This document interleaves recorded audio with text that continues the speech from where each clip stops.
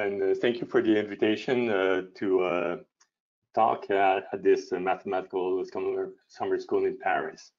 So most of you have probably heard of Escher and probably most of you like his works. It's interesting because he's an artist and he's rarely seen in the Museum of Fine Arts around the world. I guess the reason why it's it's so it's because uh, his art pieces talks to mathematically bent minds, probably like yours and mine. That brings also uh, another question of, of mine, something that I play when I'm bored or I feel alone, is when uh, mathematics was first uh, first appeared on the planet. Same question could uh, be asked about medicine or uh, literature. So I guess medicine was uh, really close to witchcraft and uh, people realized that some herbs had an effect on the body and uh, literature was probably uh, appear, appeared first uh, around a fire when the clan or a, a tribe would discuss the the the hunts of uh, previous generations and things that would strike their imagination. So what was the first uh, appearance on the planet of uh, mathematics? Probably most of you will think about arithmetics, but I think mathematics must have uh, appeared way before. So I'd like to show you some tilings. Uh, they're quite striking, and uh, Escher was also very, very uh, puzzled, intrigued, and uh, found these tilings really, uh, as you can read, it, it, remains an extremely absorbing activity, a real mania to which I've become addicted and from which I sometimes find it hard to tear myself away. So these lines were written while he was uh, visiting the Alhambra in the south of uh, Spain. And we'll see one of the tiling that he was uh, admiring there. So uh, here's uh, a first tiling. I find it remarkable. It's on the mammoth tusk, and it's about more than 10,000 year old. So it's striking because the engraver, the he or the she who did the engraving, used hexagons. So this person was quite gifted in mathematics because actually there's only three uh, regular polygon that can be used to tile big surfaces. It can be a square, can be a triangle, and the hexagon. The hexagon is by far the most difficult to draw. I ask you, I'll challenge you to draw about 10 of them really uh, close to one another. You'll see it's very difficult, but here they are. Um, so this person 12,000 years ago already showed uh, an interesting mathematical mind. The uh, tiling appeared probably almost uh, in several other parts of the planet. Here is a temple from Uruk, a city that is, has now disappeared. It's in the nowadays Iraq. And you see clearly the pattern, even though it's on cylinders, it seems like columns, but you can see it quite nicely.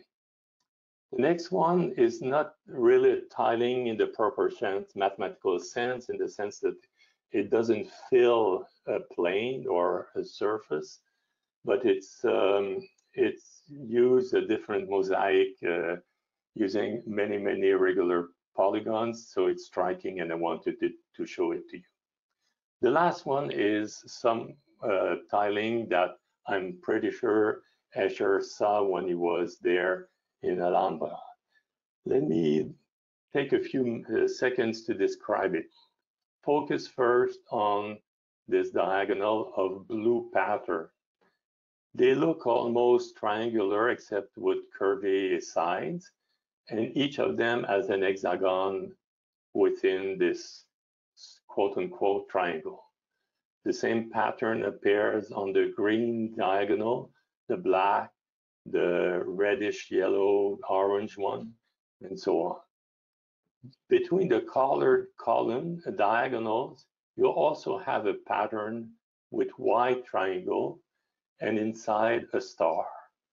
So instead of a pentagon, the, per the person who did this engraving or tiling decided to put stars instead of a hexagon in the white triangle. It's pretty um, amazing. It's nice. And it's an interplay of the color triangle with the white one, which is quite striking. Okay, so let's try to be a little more serious, quote unquote. And I'll play like uh, artist in chief in the Alhambra. So this tiling was my creation. It's kind of cute, if I can say so myself. It's built out of uh, colored uh, triangles and white ones. So it has many, many property. Um, you'll see, for example, that uh, it can be moved without changing. So look at this point and this point. And I can move it smoothly all the way so that it gets back to exactly its position. So nothing has changed after this translation, this move, all lines were preserved, all triangles were preserved. And after this small translation, the thing hasn't changed at all. I can also rotate it, for example, around this point, as you can see now. It might be a little uh, choppy, a rotation, but in the, the long run, it will take back its position exactly as it was before. So there's a natural um, object related to a tiling. It's the action that I can take to move the pattern and to bring it back to not its original position, but a different position that mimics exactly what I was seeing before translating and rotating. I'm going to ask you to uh, be, I mean, there's quite a bit of participants. I'm delighted that you're there. So I'm going to play a game. Uh, you'll, you'll be asked to answer the question through a questionnaire that uh, Daniel will pop out. And the question is, suppose that I'm a fabricant. I, I, I have an industry and I do tiles so that can people can tile their uh, bathroom floor or their kitchen walls or whatever. My concern is that uh, it's I think it's more intelligent to have the smallest tile possible. So I'll be uh, shipping smaller boxes. If the the contractor breaks one, it won't break a big tile, and so on and so forth. So I'm going to ask you what of the tile A, B, C, or D would be the smallest that can be used to tile my whole floor. It's easy to see um, because uh, look first at the big hexagon. It has exactly six tiles and uh, it's all obtained by rotating this one. And then I can move the, the hexagon everywhere I can see this little flower with six uh, blue dots. I can move it here, move it here, and here, and so on, and it clearly fills the whole thing. Okay, good. We'll play the game again. It's kind of fun. Before moving, I would like to have a volunteer ask, uh, answer me a few questions very easy. Uh, I would like you to raise your hand. Can you give me uh, the, the degree or the size of the angle of the colored triangle? So for mm. example, what's the angle here? That's 90 degree angle. Very good. Yes, it is. What about this one? Well, it seems like a 30 degree angle, I think. Uh, I'm sorry, there, there's exactly six angles here. Oh, okay, okay, sorry. So it would be Mm, So what? Uh, six degrees. Same. 60, very good. Yeah, Finally, what about this one? yeah, that's 30. 30, okay, 30 plus 60 plus 90, that's 180. Thank you, Dren. Uh, I'll, I'll use you as a, as a volunteer uh, in the slides coming. Thank you very much for the time being, Yeah, but stay alive, I'll, I'll come back to you. Okay, so we've played our game. I'd like to uh, introduce uh, the first concept that uh, have appeared, and it took a long time for mathematicians to figure out these action on some object that was playing a key role in mathematics.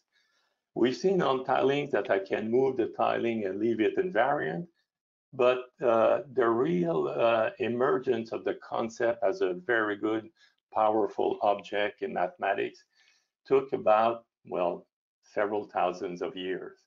And it turned, it came about in a very abstract way. First through work of Lagrange uh, when he was studying um, polynomials or functions of uh, many variables and exchanging the variables. And Galois used the same idea, but uh, to exchange roots of polynomials. And I think uh, Galois was um, had a stroke of genius because he would manage to think of the group not as the tiling that is being moved, but only of the action.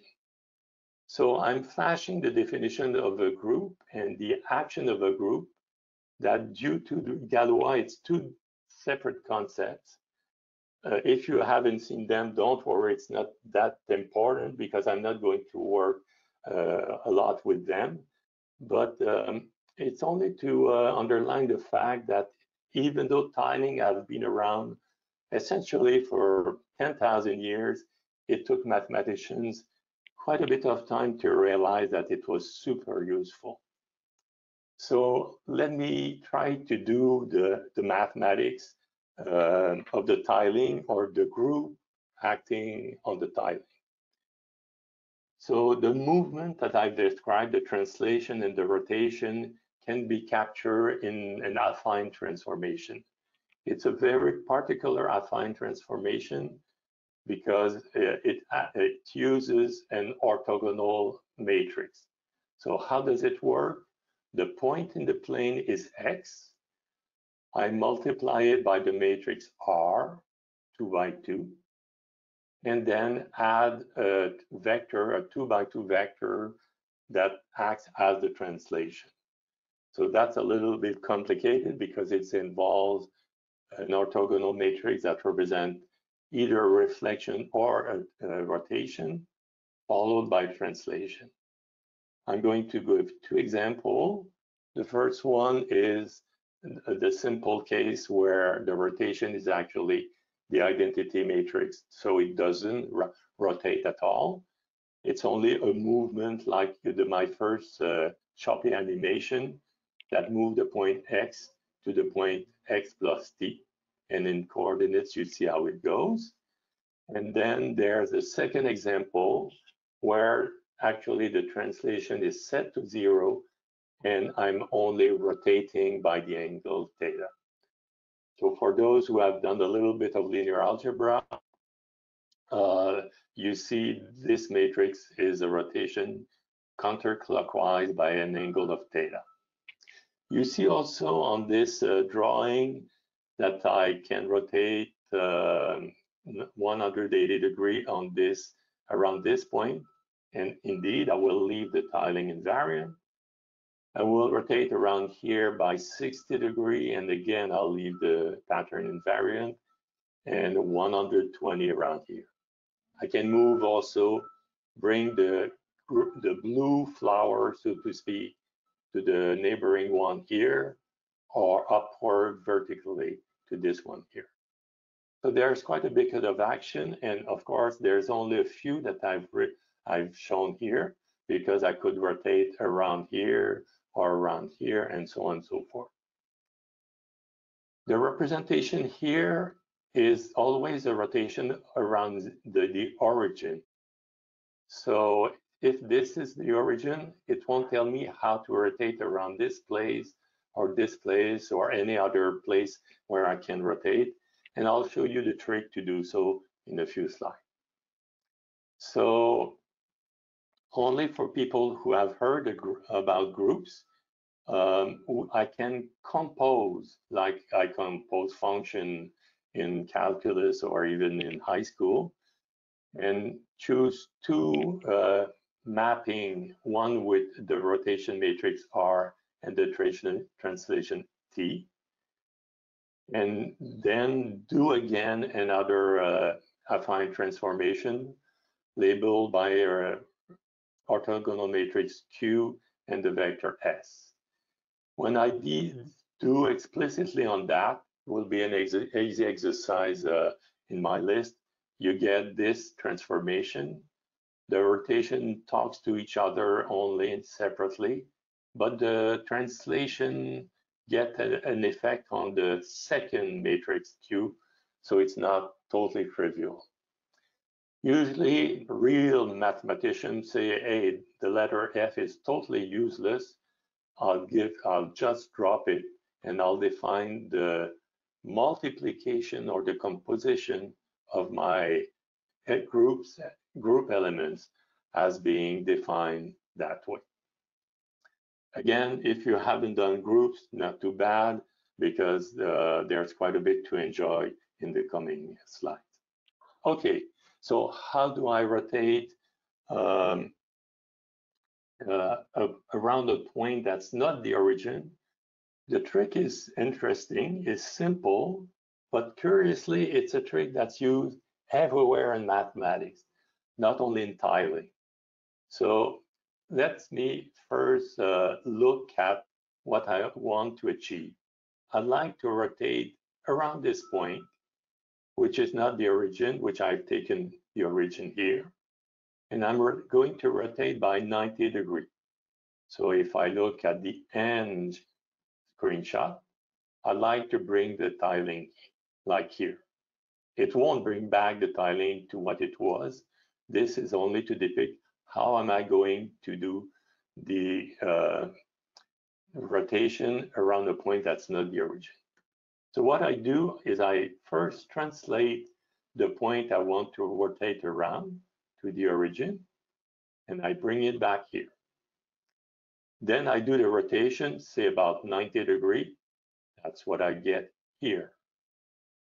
And finally, I translate back the point that was supposed to be rotated around at its final position or its original position also by the inverse translation. So I have achieved exactly what I wanted to do, to rotate by a 90 degree angle counterclockwise the, the drawing around this point. So in terms of uh, my very compact notation, translation by minus the point to bring back the point to the origin, rotation, and push back the origin to the original position. It's curious that this uh, manipulation, which uh, sandwich this rotation with uh, a certain element in its inverse plays such an important role in mathematics. Actually, it's so important that it's uh, bear, it bears a name. We call it a conjugation. So here's a, a conjugation of a general element QS by an element RT. So RT and its inverse are, are given that specific form. And if I use my um, formula that I've given, well, the expression of the conjugation is quite something, not too difficult to work, to work out, but uh, here it is. And for people who have uh, learned about group theory, just a very quick uh, question that I'll leave you, I'll, I'll give you the answer right away but there's two very natural subgroup. The group of rotation where I never do a translation. All the elements of this subgroup has its their translation set to zero. And the other subgroup where all the rotation matrix are set to identity. So if I compose two translation, I'll get a translation in this subgroup. And in the first one, if I compose two rotation around the origin, I'll also get a rotation around the origin. So there's an important word in group theory that's called normal. And uh, only one of these two is normal, and it's the translation. So end of group theory, we're moving to something else, except that we'll play a last time the game of the tiling. Why? Because, uh, well, it's kind of fun, and it also has the, the advantage to play with uh, the drawings of Escher. So that's one of his famous, the salamanders or the lizards uh, drawing. It's quite striking. It's beautiful. It's uh, intricate. You can look at it and see how how wise this guy was. But hey, I'm I'm I want to play the the game of the smallest tile again. So I'll give you 15 seconds again to decide which of the three tiles A, B, and C would be the smallest possible if I want to tile a large surface like a bathroom floor, for example, and I want to have the pattern of white, red, and black uh, salamanders, lizards. Okay, so the, the right answer is actually C. It's a little tricky actually. I think we can get rid of A quickly because it doesn't have the, the head of a black salamander lizard. So this one would be too small. This one has actually a full uh, head of the white. For example, this part is missing, but reappears here. It has a full red, a full red, uh, black heads, but actually there's limbs missing. For example, the black lizard doesn't get its uh, left or right uh, back in limb, but it does here because even though they're cut from the top of the triangle, they reappeared in the bottom. So you can play, but the right answer is C. And congratulations to for those who voted for C, but also it was uh, thank you for participating in the game. I'm changing the topics now. I want to uh, talk to you about axioms, but um, you'll see it play, it will play a role even in the tiling. That's a little weird, but let's move.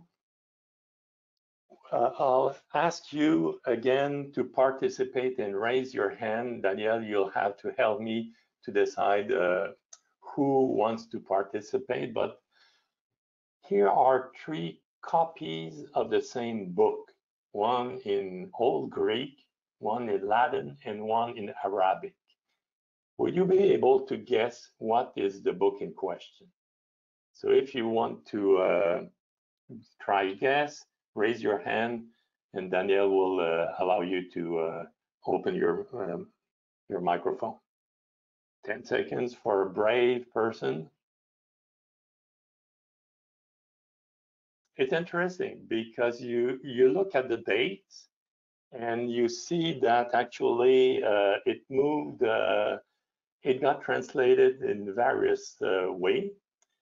And uh, even though the arabic document is from 1108 they had a, a version before that before it was translated to uh, uh, latin.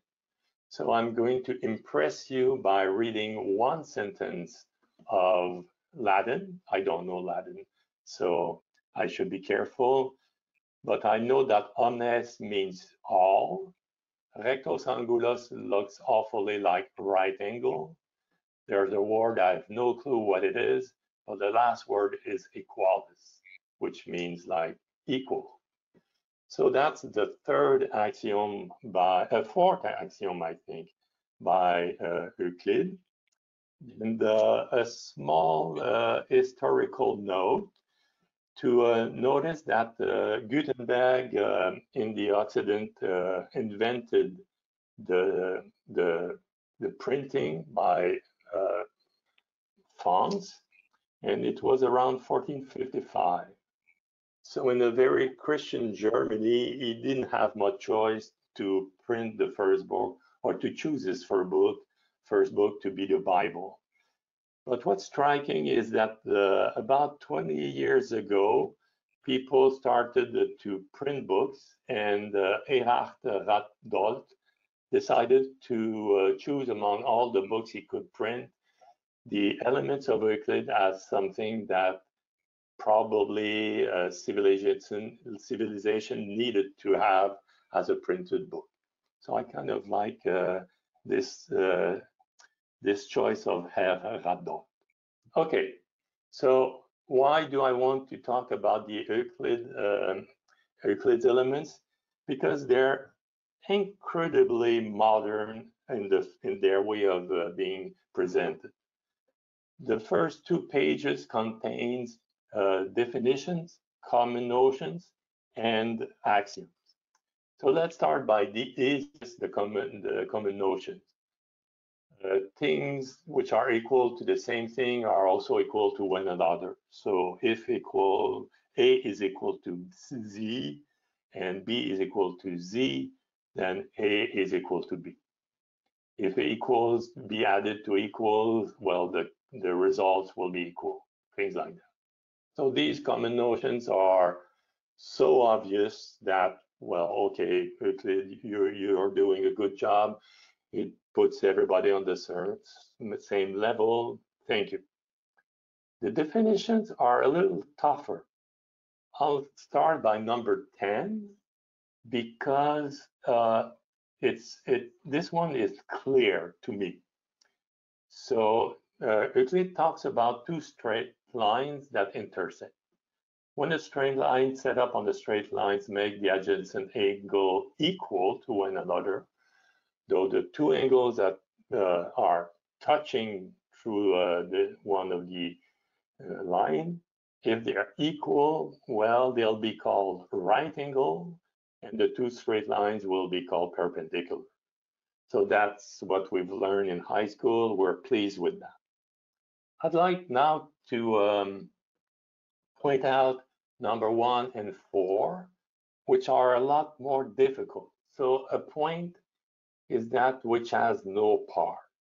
Okay, um, I've been taught that in high school, never really understood what it meant, but is that an atom or something like that? Okay, and definition number four, you see it's really tough. A straight line is a line which lies evenly with the points on itself. What does it mean exactly? Of course, we've done Euclidean geometry in high school, so we know what is a straight line, but mm, the definition itself is a little bizarre. I've put the French uh, definitions uh, in the bottom. If you don't read French, don't worry. Is that I did that only to pinpoint and underline the fact that in all language, the definition for is kind of weird. Okay, so I'm going to stop complaining about Euclid's uh, monument and I'll go to the axiom. They're kind of, they're well known, but I'm going to uh, read them because they're simple, they're clear, at least the first four. Okay, the first one says, you give me two points, I can draw a line that goes through the two points. So there's a segment of line joining the two points. The second one says that I can extend this straight line passing through the two points indefinitely on either side of the line, or either side of the points. Third one says that you give me a point and a length or distance, and I can draw a circle whose center is the point you gave me, and the radius is the length you give me. The fourth is the one that I was able to read in the Latin document. All right angles are equal. And the fifth one is long and tough. So realize, I should like to uh, remark that the first, the first four are one line, and the fifth one is actually so long, it takes as much space as the first four to write. I've even decided to uh, to draw a picture of the construction so that everybody will be able to see uh, what it means. We're talking about three lines now, two blue and a red one. So if a straight line, the red one, has two straight line blue intersecting it in such a way that these two angles, the interior angles, sum up to less than two right angles, then the two blue lines will intersect on the same side as the two interior angles. That's quite a mouthful. Actually, it's tough, it's long, and uh, at least there's good news because there's another way to formulate the same axiom. Or to be more precise, to formulate an axiom that can replace the, the one I've just described without changing anything. Okay, so here's 5 prime. In a plane, give a line D. Point A outside D, then there will be at most one parallel line to the given line uh, can be drawn through the point A without intersecting D. Though it's uh, there's only at most one of such parallel line. So what does it mean exactly that it's equivalent to the, the number five that I described in the previous slide, it means the following one. So it's a little uh, logically tricky. Oh, bear attention. So if I use the four first with the number five that I was in the that I used in the previous slide, I can prove five prime as a consequence of these five axioms. Similarly, if I use the four first and five prime, I can prove, deduce the five, the first version of five that I've described before. So in a certain sense, I can use either number five or five prime to construct the same theory. The theory will be identical and the number five that I uh, didn't use will be a consequence of the number five that I've chosen. Okay, so did Euclid know about the sphere?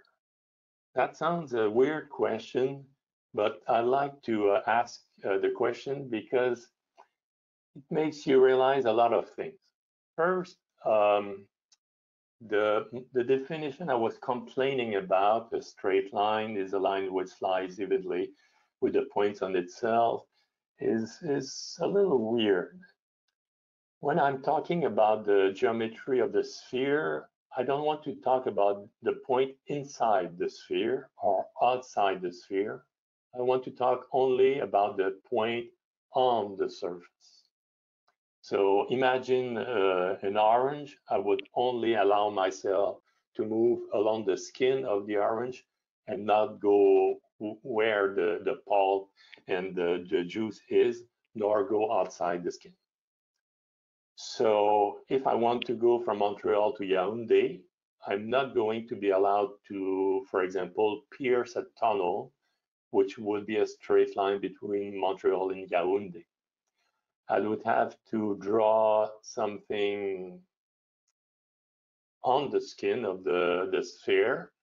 And of course, if I want to go quickly, I'll use a straight line which is not a straight line, or maybe it's a straight line with the definition of Euclid, but I would propose something slightly different.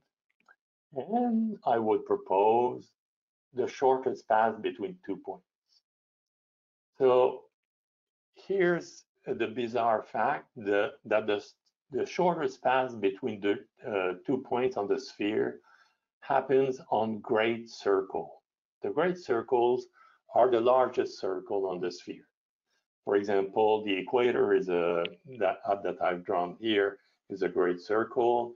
Any meridian going through the pole, North Pole would be a great circle. And the one that I've drawn through Montreal and Yaoundé is also a, grand, a great circle. And the shortest path is really this segment of spherical line on, uh, on the great circle. Notice that here's a smaller circle going through the two points. And if I would have the fancy to visit this line, it wouldn't be longer than using this thing.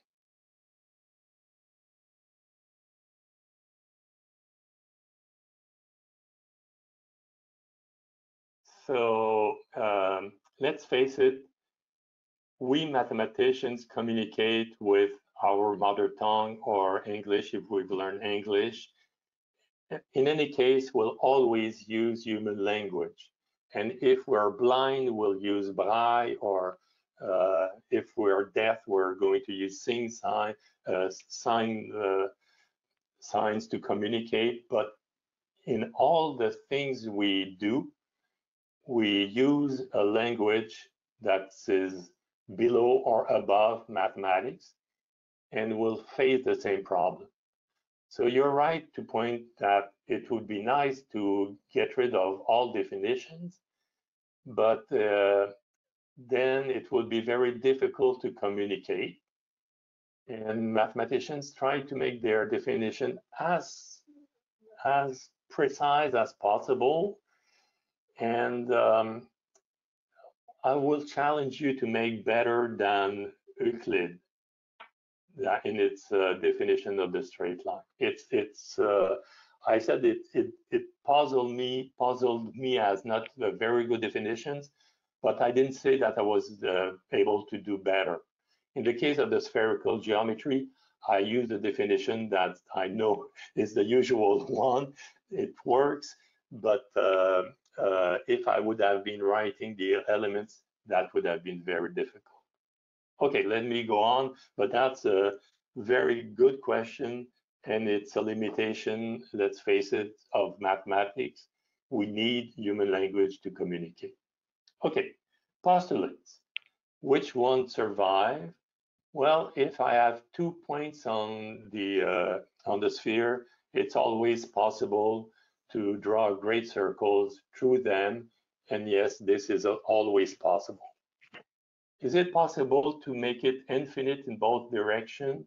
No, it doesn't actually. And that axiom fails. Can I describe a circle with any center or any distance? Well, no, if the radius is larger than the radius of the sphere all right angles are equal, yes, that's easy.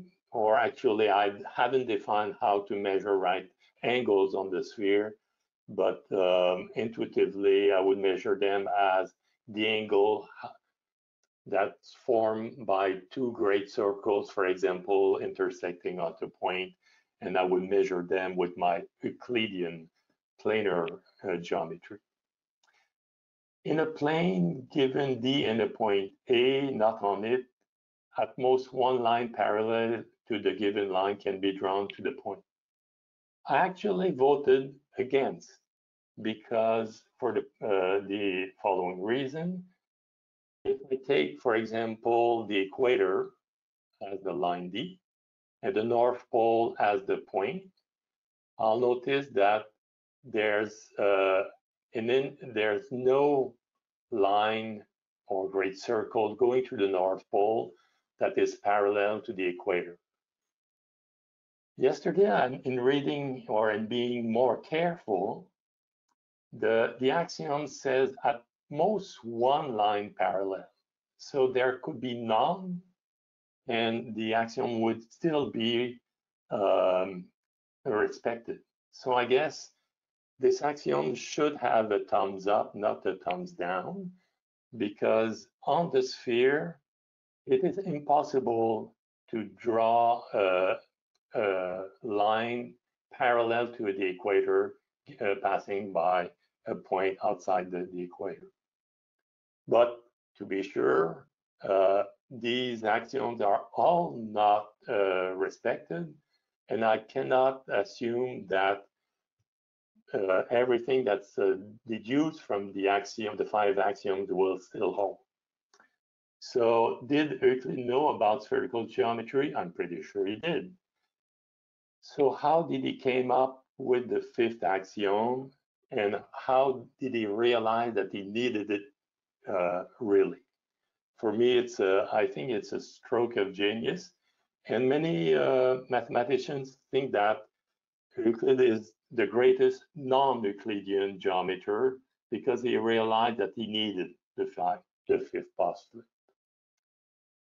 Again, now that I have a straight line, I have segments of straight line, so I should be able to do triangles. So I'm sorry, I think it's silly to have these fireworks, but I kind of like them. And I could do tile. Wow, that's an interesting thing. And here's a beautiful one. Well, I did it myself, so I, I shouldn't say it's beautiful, but it's kind of nice. Okay, so again, color triangles. I replace the white triangles by the absence of white triangles. So I can go, I can see in the back also. And uh, every triangle is similar to the other. And um, is my friend Dren, are you still there, Dren? Could you open your microphone? Maybe Dren is not there anymore. Stefan, are you there? Oh, Dren is here. Good, good, good, good. Thank you to be back. Okay. Okay.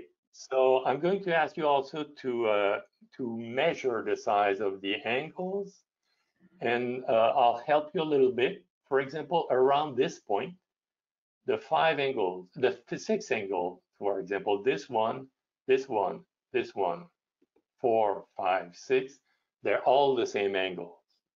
So what are the angles? The blue angle here.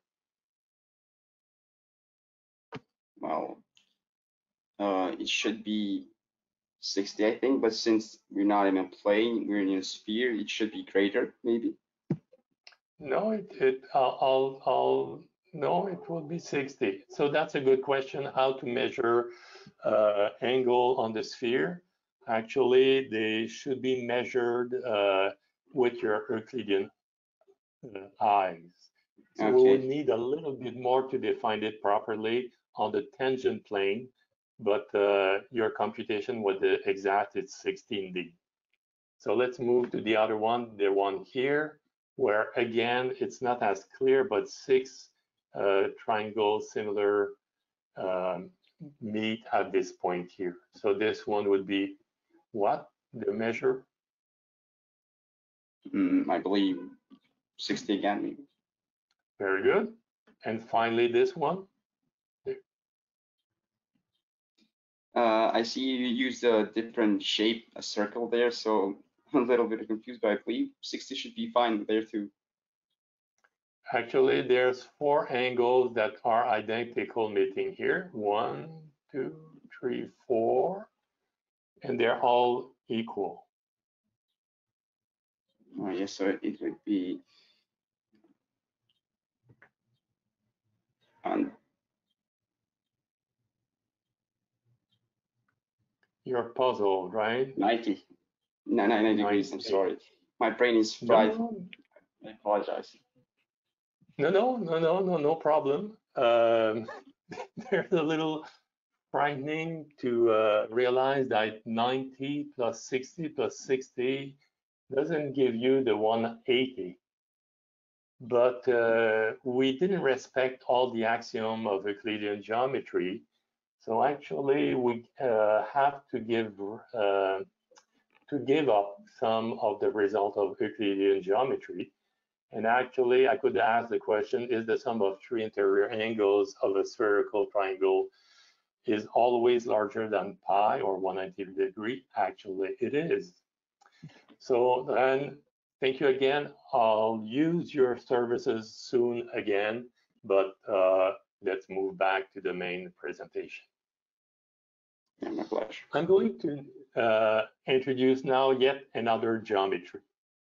So um, it's been in, in the cooking for a long while. So it's kind of interesting uh, to do a little bit of history again. Um, here's the title of my slide. The fifth postulate is the ugliest thing ever.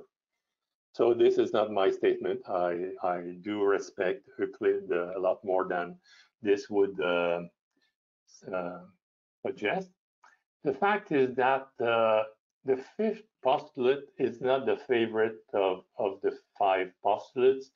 First is awkward, is long, is bizarre, and a Greek of the name of Proclus really caught uh, the the feeling of the, the, the epoch of his time by saying it is clear that we must look for proof of this theorem that does not have the character of a postulate. So for Proclus, this thing is surely not a postulate, and it should be uh, deduced from the four first axioms. It's clear that it has the taste of a theorem, not uh, a postulate. A lot of people believed in his uh, judgment, and actually, uh, for a long time, people tried to prove the thing to prove that the fifth postulate, either version, is actually uh, following from the first four axioms. I told you that uh, the uh, Arabic world was quick to get the translation of uh, Euclid's elements, and uh, the brightest mind there was quick to replace the Greek efforts by either Arabic one or Persian one they were quite a brilliant mind there working to get a proof. During that period of time, uh, Europe was pretty much sleeping as much as the science goes, but Renaissance came uh, and hit um, Europe, and of course the uh, Italian, uh, I mean, think about Galileo Galilei, but also great mind uh, Italian tried to uh, prove the fifth axiom, and Johann Lambert, the German, made the big effort and probably culminated in Adrien Marie Legendre. Legendre must be called Mr. Parallelism. Actually, he devoted a great part of his life trying to prove the fifth axiom. And actually, he did uh, write several proof of them and they were all wrong. So why would I bother to um, underline his feet? Is because he was always the one finding the error on his proof. You know, his proofs. It is it's quite striking because uh, you might not have written many proofs yet, but it's really hard to uh, find the error in one's proofs. So the fact that Legendre was able to uh, uh, uh find such such errors, he, he's a strikingly brilliant mathematician. So this 200, uh, 2000 year efforts uh, went to a halt when two uh, mathematicians independently constructed a geometry that respects the first four, but contradicts the fifth showing then that you can have a geometry where the first four are respected, but not the fifth, and then the fifth cannot be following from the first four. Many, many math mathematicians worked on making clear this statement. And actually, I'm going to present a version due to Henri Poincaré. I kind of like his presentation because it's a little Machiavellic in the sense that it uses only Euclidean geometry to, con to construct a geometry that's not Euclidean. So the trick is really Machiavellic because if you find an error in this new geometry, it brings down also the Euclidean geometry.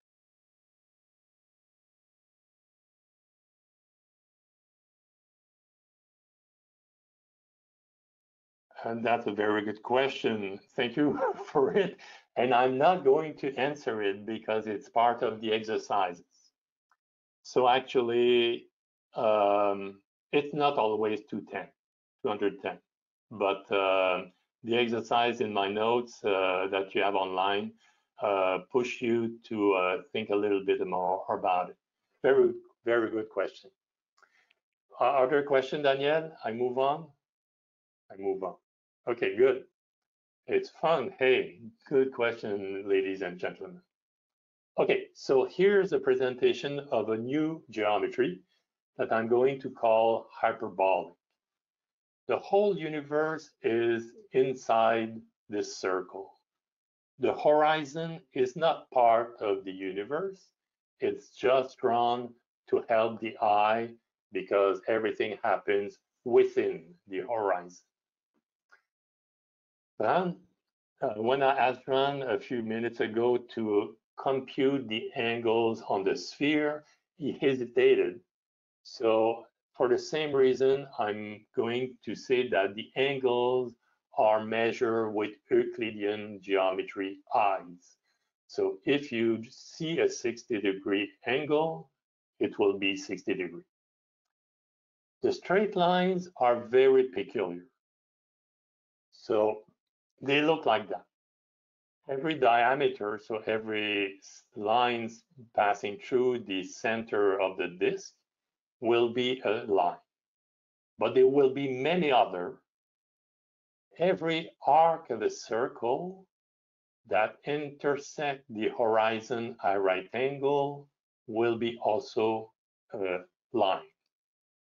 I'll use sometimes hyperbolic line, but most of the time I will drop the adjective hyperbolic, but uh, I'm defining what is a hyperbolic line and what I mean by two circle intersecting at right angle is by if I draw the tangent line to both at the intersection point, these two lines will be right angle.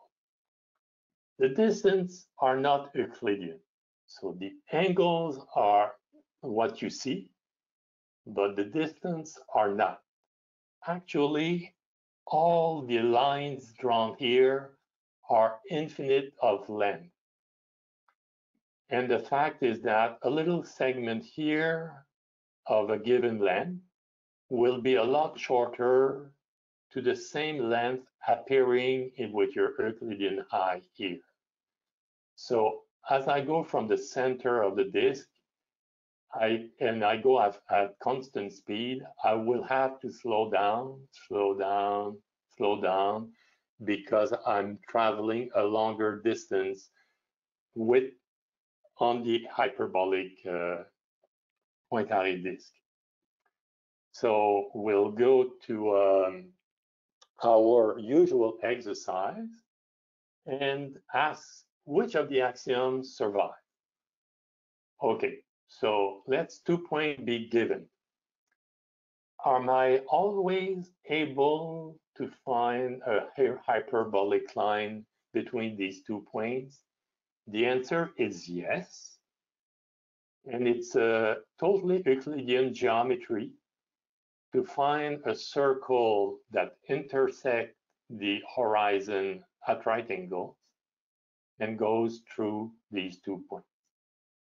And actually, because this arc, which intersects the horizon at right angles, is infinite of length, the second axiom is also respected. What about circle? Well, here's a bunch. In fact, the distance between the, the center and the first circle is equal to the distance between the first circle and the second, the second and the third, and so on and so forth. Of course, I could have carried on to draw an infinite amount of circle, but I've stopped after a few. You'll probably ask, hey, hey, hey, hey, that's not any center. You're right. So here's a bunch which do not have the same center, hmm. And you start having a feeling of this hyperbolic geometry. Why? because the yellow dot here is actually the center of all these yellow circles. For example, this, the distance from here to the origin, to, uh, I'm sorry, to the center here, is the same as the distance from here to here. So this segment is closer to the horizon than the distance, than the uh, limiting point here. So it makes sense that the center of the circle is closer to this than to this. So actually, indeed, the fourth axiom is respected. What about the fifth? Well, the fifth needs a little bit more thinking. So let's get to the next slide.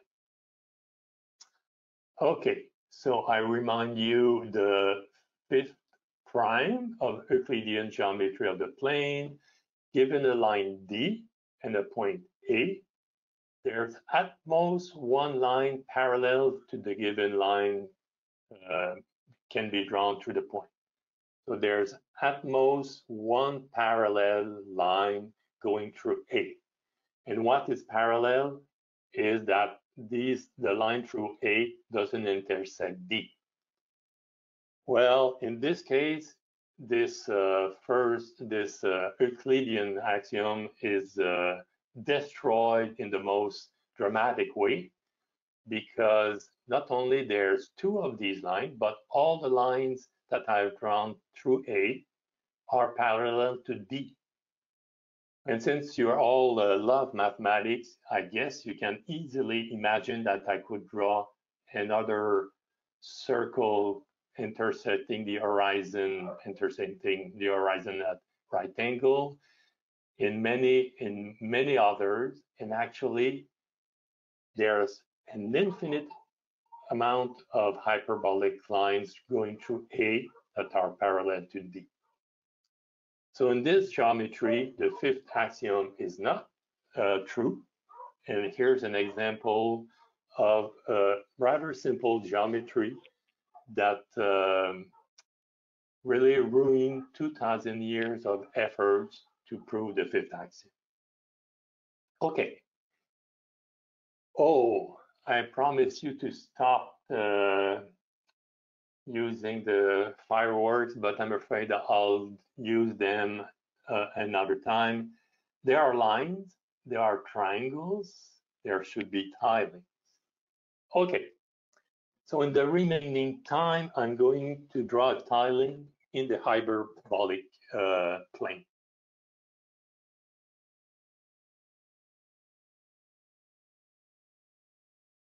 There are circle, uh, oops, okay, let me come back to the drawing there. The yellow uh, circle are Euclidean circle. So you see them as circle, they are not ellipses, but their center is not the Euclidean center. So again, for example, the large yellow circle here has this center as its hyperbolic center, but each of the circle you see the brown and the, uh, the yellow are both Euclidean and hyperbolic circles, but with different center. Did I understand properly? Uh, did I answer properly the question? Is it clear? It's really be, really bizarre. They are Euclidean center, but it's not the reason why they respect the four, uh, the third axiom. The third axiom is that they are hyperbolic uh, circles. Okay, let's move back to my firework. Okay, here I'm going to start drawing, drawing a tiling. I need to be careful because triangles are three uh, points, three vertices joined by segments of line. So I'll play save for two segments of line. I'm going to use diameters. So obviously they are um, there are lines, hyperbolic lines. So the segment AB and AB prime are segments of a triangle. I, am happy. For the third uh, side, I'm going to use uh, this uh, hyperbolic line that intersects the horizon at right angles. So my little uh, drawing here is uh, hyperbolic. The next step of the tiling is kind of simple because I'm going to rotate the original triangle by uh, 90 degrees the diameters of this one will be become the diameter of this one, for example. They're still hyperbolic line.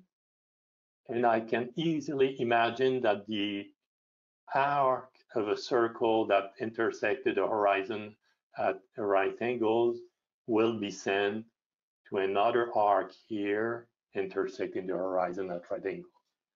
So, so these four drawings that you're seeing are obviously uh, hyperbolic triangle. Next step, I was trying to imagine simply rotating the thing, but this is a very bad idea because this shape here is surely not a triangle because this thing is not the segment of a hyperbolic line.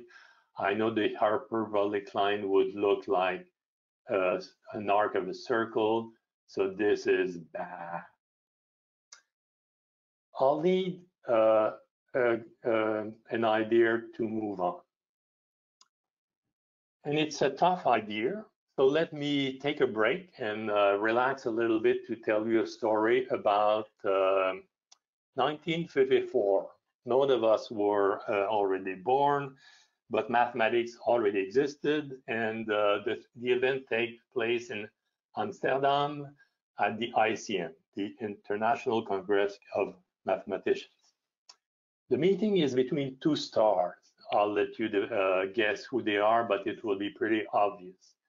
One is an artist, and he talks to the other one, the other one who's a mathematician, and he tells him that he has a really artistic project, that of representing the infinity in an art piece. It can happen that someone, not having assimilated much of the knowledge of from previous generations, it can happen indeed that this someone might feel one day the desire strong and conscious to approach infinity as purely and closely as possible. The artist goes on in explaining that actually he has found a way to represent the infinity in a single point in his drawing, but he wanted instead to the infinitude to be the outside, not the center of his uh, etching. So the mathematician told you, oh, you want the infinity to be out. I know how to do it. And of course, the artist said, oh, would you explain to me how to do that? So the two stars are obviously Maurits Escher and less obviously uh, Harold Coxeter, who's a British, uh, he was British born, but did most of his career at the University of Toronto in Canada, who explained uh, the basic rules of drawing hyperbolic lines to Escher. So Here's one of the construction that Coxeter explained to uh, Escher. It's, uh, I call it the Euclidean inversion, even though it's be, it has been discovered or invented by Ludwig Magnus kind of 2000 years after Euclidean, Euclid. I called it Euclidean because actually it's a rule and compass construction only. It's absolutely beautiful. And you require a circle of center O. And you're going to construct the inversion of P through this circle. How is the inversion of P through the circle defined? It's defined that way. The inversion of P with respect to the circle is another point P prime drawn here, but I'll tell you how to construct it. on the half line from O to P, such that the length of OP divided by the radius of the circle is equal to the radius of the circle divided by OP prime. Okay, it sounds tough, but it's rather simple. I use a compass and put the dry uh, tip here and the pencil of the compass here. And I draw the arc of the circle of going of center P and radius the distance OP. Of course, the circle will hit the circle, the inverted circle at two points. Here and here, I choose Q and draw the line QP and OP. Since OP and QP are the radius of the same circle, these two uh, segments are the same length and define, they define an isosceles triangle OPQ. I put back the dry pin of my compass at Q and use the radius of the inversion circle to draw the yellow circle or arc of the circle. Of course, it hits at one point the line through OP, and I'll call the point P prime. Again, because I've used the compass, the length of OQ and QP prime are the same. So OP prime Q is an isosceles triangle, and it shares this angle with the first isosceles OPQ that I have drawn. So these two triangles are similar, and the large length side of the first triangle divided by its small length will be equal to the small, the long length of the small triangle divided by the small length OP of this triangle. So here's a purely Euclidean geometry construction and it respect all uh, the, the requirement of this formula. The inversion is pretty striking. It has the following property. First, the points on the inversion circle are their own inversion. So actually their own image under the inversion. The inversion transforms circle into circle. For example, this large circle here is sent in the small circle here. So it's not obvious that when you compute the inversion of all the points here, you'll end up in a circle, but you can show it. The image of the blue circle is the little reddish circle here. And notice that I the intersect here almost at right angle, the same angle that you see here between the intersection of the two small image of the inversion. So I'm going back to my tiling and I'm going to use this idea to construct new triangles. At this point, I have only four.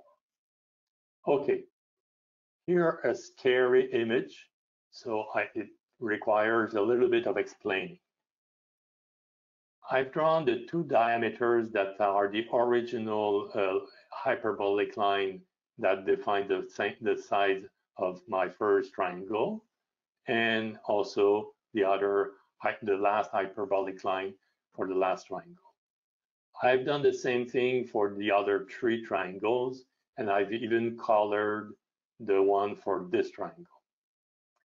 I'm going to invert all these lines through this circle here. It's a little tough. The drawing is quite busy, so follow the guide. I'm going to think first about what becomes the horizon when I invert it through this uh, arc of the circle? Well, I just said that the inversion of a circle, for example, the horizon, will remain a, a circle. Moreover, the point here of the horizon will stay where it is. Same with the point here.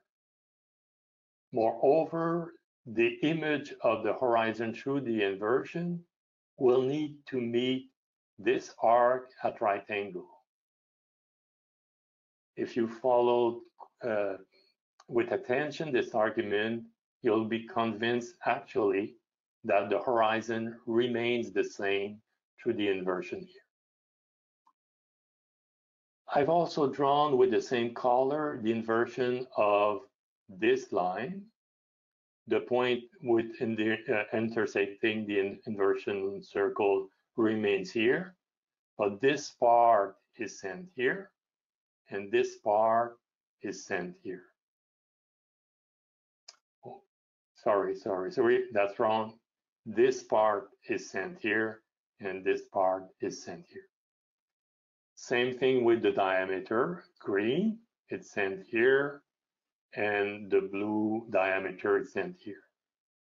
So actually, the triangle here is sent within this white triangle here, and this triangle is the image to the inversion of this triangle here.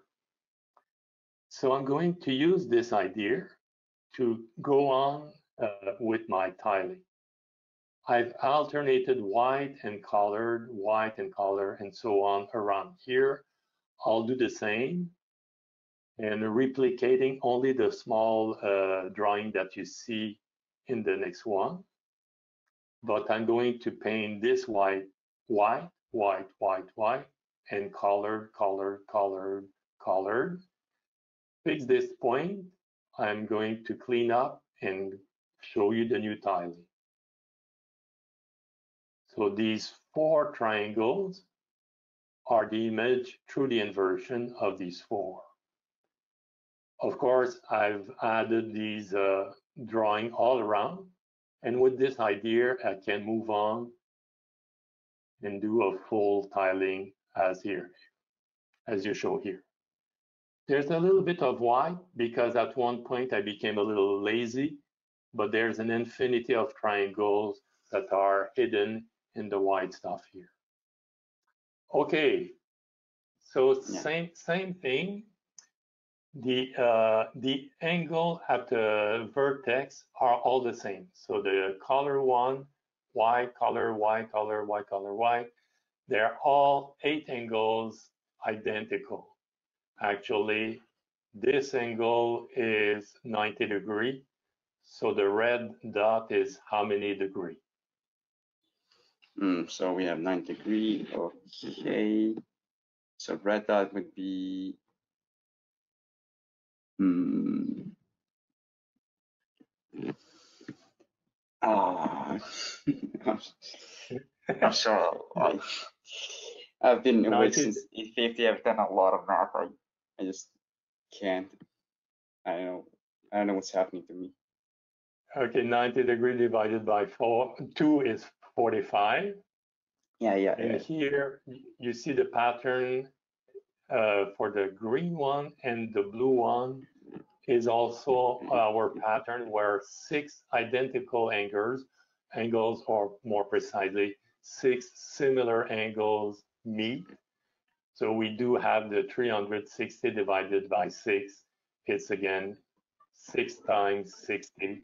So these are 60, 60, and 45. And we do get 120 plus 45, 165, and it's less than the 180. So thank you, Dan. I, I need to uh, underline the fact that, again, this geometry doesn't respect the axiom of planar Euclidean geometry. So the sum is smaller than 180 degree, and it will always be smaller than 90 degrees. Okay, I can play the game of the smallest tile. I'll show them to you. It will be um, a tile that contains a white triangle and a colored one. and it will be replicated uh, all the way in all the, the whole universe. Of course, the triangle change shape if we use our Euclidean eyes, but actually they can be rotated. For example, the white and the colored can be moved to the white and the colored here, and so on and so forth. So you can fill the whole space with this thing. So I played the game alone because it's a little tougher, and it points out to the fact that actually there are rotations and translations in the Poincaré disk. So what uh, was the woodcut I was talking about? Well, it's funny. Escher had dropped out of mathematics during high school. He was not very keen in studying mathematics, but um, he had problem also communicating with Coxeter. So his uh, reaction when he received uh, Coxeter's explanation of the, the woodcut that I will show you in a second is the following one. I had an enthusiastic letter from Coxeter about my colored school of fish, which I sent him. Three pages of explanation of what I actually did. It's a pity that I understand nothing, absolutely nothing. So here's the famous Circle Limit III that use hyperbolic geometry without uh, the artist knowing about really a lot about uh, hyperbolic geometry and mathematics. I'm going to overlap the tiles that I drawn before, only a few seconds, to notice that if you ignore the color of the fishes, this tile here contains a full fish. Of course, the yellow fish has its uh, side here cut, but it's actually this part that's replicated in green. This part is cut, but it reappears here, and its cheek is are partially cut, but they appear here. I'm going to remove uh, the, the tiles because the drawing is absolutely superb. And um, I've read somewhere that uh, Escher only used three wood panel to print this thing. One for the black lines and the black eyes, one for the yellow fish, and for the green fish that are actually obtained simply by a rotation by 90 degree. And the third one for the red that he painted after to get the blue fishes again after a rotation. I don't know if it's this uh, true story, but it's quite remarkable. And uh, if you look at the line of fish, you can count one, two, three, four, five, six, seven fishes uh, going along this line. It's quite uh, perfect. Okay, Going back to the very beginning of, my talk, you recall translation and rotation. Here's the rotation of my original tiling. So there should be something similar for um, the, the hyperbolic tiling. So actually very, very quickly, that's advanced mathematics. So they have, stuff that not everybody will understand, but here let me flash it quickly. The group of translation and rotation of the Circle Limit III is a subgroup of what we call SU11, which is a subgroup of SL2. The SL2 is the simplest thing to define, is the two by two complex matrices that have determinant one. The SU11 is a lot more complicated if you sandwich it, if you sandwich the, uh, the matrix with one plus one and one minus one, by this, these matrices that are belonging to SU11 with the dagger, you get the same matrix. The dagger is the transpose complex conjugate. And the action on the element of the disk is highly nonlinear, so it's complicated and forces you to go through uh, complex numbers. So if you have a point within the circle, you define the complex number x or i, y from the two coordinates i and y that are real numbers. You use the matrix that are in the group with az plus b and cz plus d. And you can show that if the point was within the, the universe, the denominator never is zero. And since this is a complex number, it has a real part and an imaginary part. And the real part is the first component of the new point, and the imaginary part is the second component. Very advanced stuff, but to help you look at them, I'm going to uh, go over this slide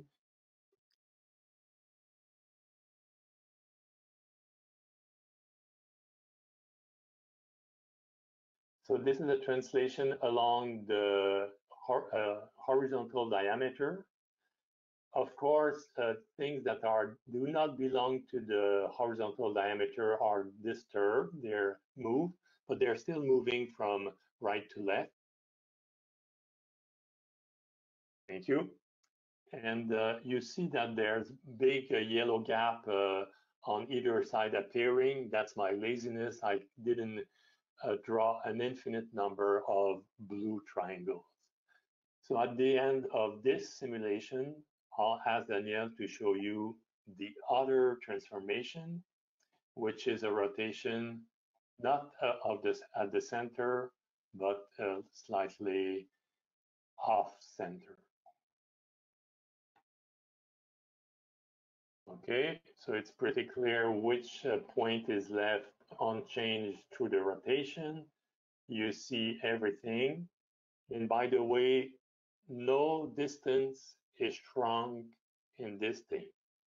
Of course, if you follow a triangle through the rotation, it changes its shape with your Euclidean eye, but not with the hyperbolic um, eyes it's actually this rotation is an isometry. All distances and angles are preserved as we rotate around the center point.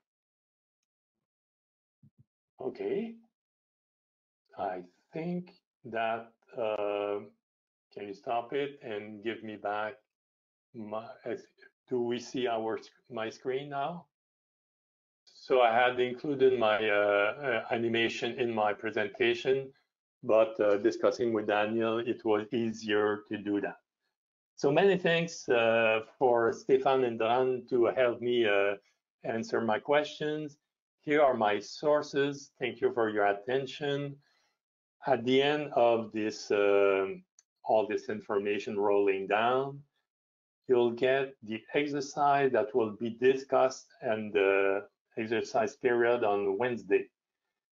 Not all the exercise will be discussed. Some are very long, some are tough. And um, my, I've asked the TA to be there, not to tell you the answer, only to uh, help you if you have difficulty. And the big idea is to have fun. So thank you for your attention. And I'm now open for questions.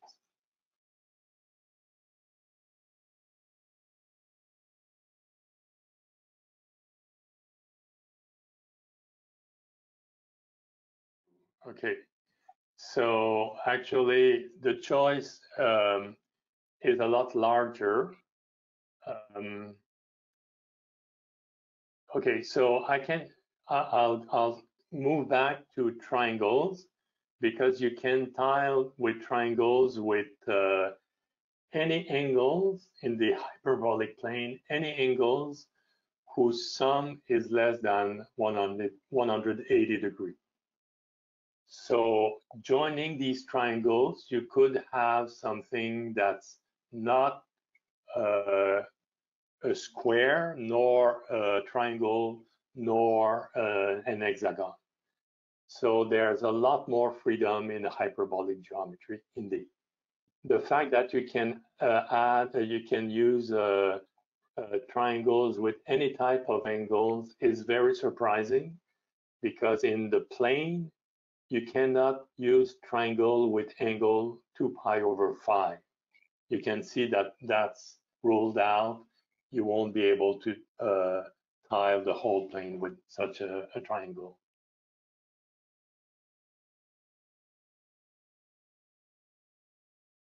Actually, uh, yes, but uh, you see the the hyperbolic uh, disk was defined by bending the lines. So usually we don't seek a representation like within the Poincaré disk. The Poincaré disk is uh, is really wonderful because it helps you visualize things. But the next step in geometry, once we've done uh, geometry in three dimensions of surfaces, the next step is to define an object that's a little more abstract called manifold and define uh, length and area on these objects and look at their curvature, the same thing as the sphere is curved. And actually, the hyperbolic uh, disk is also curved in the sense that I would have, I would need a lot more hours to define. But the next step is to uh, more abstract object that we cannot visualize because they, sometimes they're defined in three, four, five, whatever dimension. But uh, the all our visualization is developed in two and three dimensions. So the first step is really to master uh, Euclidean geometry, differential geometry of surfaces in in 3D, and then to make the big uh, jump to abstract thinking.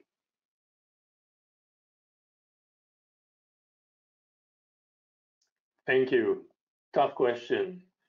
Um, well, it uh, the, the distance depends on the point.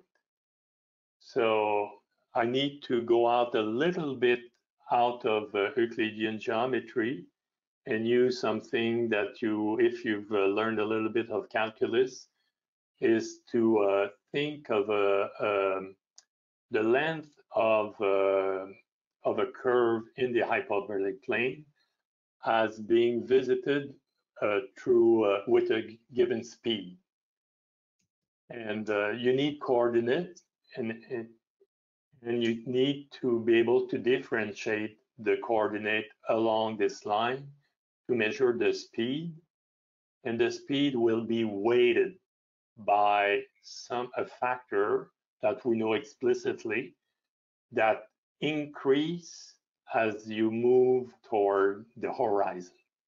So at the center, the, the fact, the weight is about one, but as you move uh, towards the, uh, the horizon, the weight becomes uh, very large. And at the horizon, which is not part of the universe, it's infinite. So it's a function of the distance from the center of the disk that uh, goes to infinity at the horizon. That's the best I can do with uh, without a blackboard and a little more differential geometry.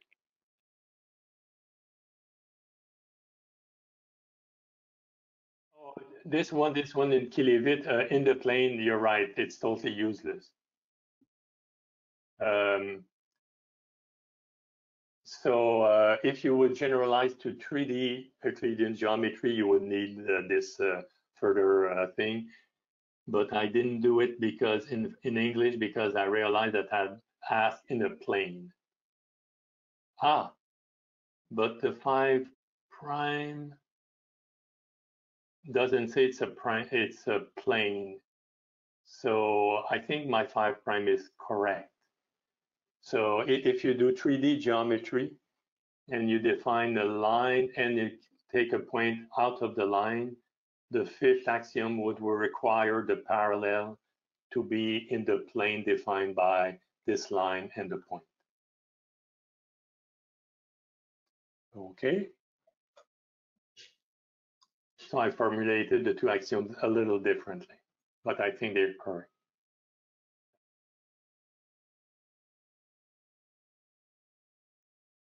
Okay, so the, the answer is, I'm going to change your question to, uh, to say yes.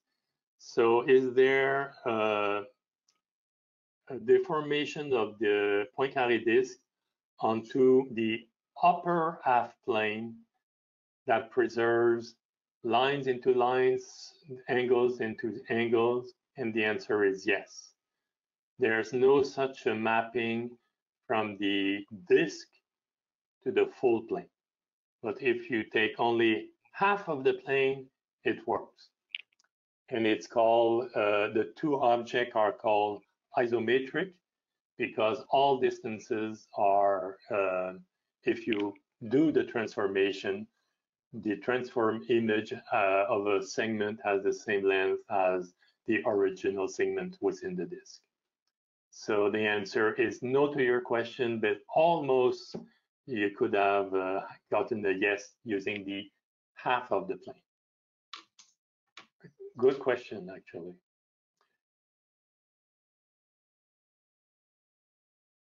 Yes, we can. That's a good question, and it's the first reflex that the mathematician would do. Is the 2D uh, an incredible, um, an incredible uh, coincidence? or it's really uh, uh, something that that works. Actually, um, there's quite a bit of example uh, of objects that have the same property of uh, of um,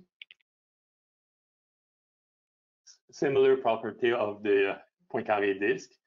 Uh, one family would be the uh, the projective spaces that can be defined in any dimensions. And um, so objects that would have uh, non-compact, meaning um, you can have object uh, lines of infinite length, for example, in all directions, and um, a curvature that's uh, identical at each point, but it's negatively curved. It's it's a little difficult to uh, explain what negative curvature is when you're looking at the Poincaré disk on the plane. But the short answer to your question is yes, such object exists in all dimensions.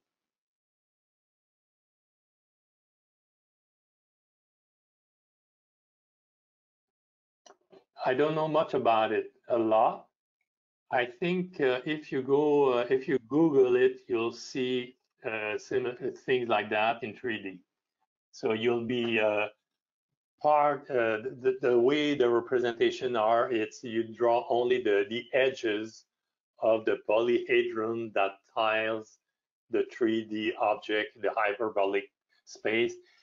So there's either animation and I, there might be even program that's it, that you ask, uh, like on Google Map, go straight ahead, and you see the, you see yourself traveling within the tiling, and you can even turn around.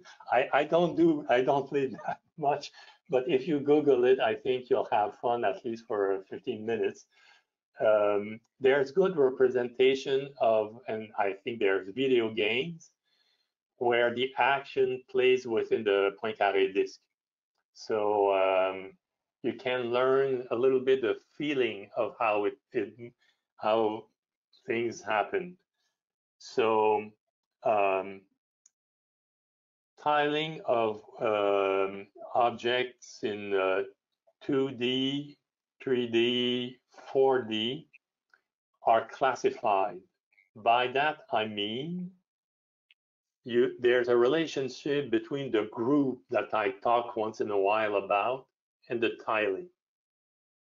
And uh, I think that Escher knew that in 2D, there was 17 of these groups.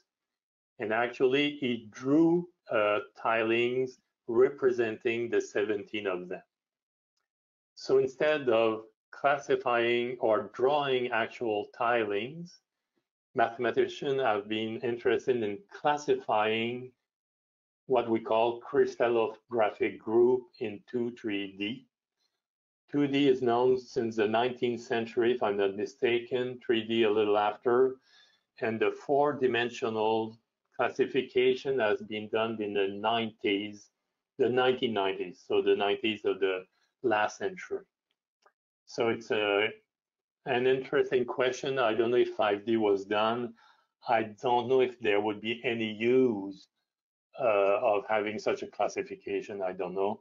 Uh, unfortunately, if we have a second Escher, he wouldn't be interested in doing 5D. That's for sure.